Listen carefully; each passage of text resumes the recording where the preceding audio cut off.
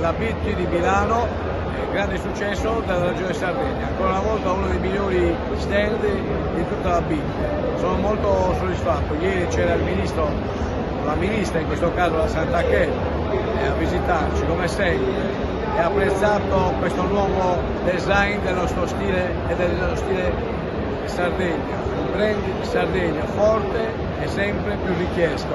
La destinazione Sardegna, grazie a ciò che noi proponiamo soprattutto i 58 rappresentanti che oggi sono qui presenti a proporre una Sardegna unita, una Sardegna che va anche oltre il mare e non solo mare, ma stiamo puntando a vivere una Sardegna tutto l'anno, 12 mesi all'anno, per questo che stiamo valorizzando all'interno della Sardegna.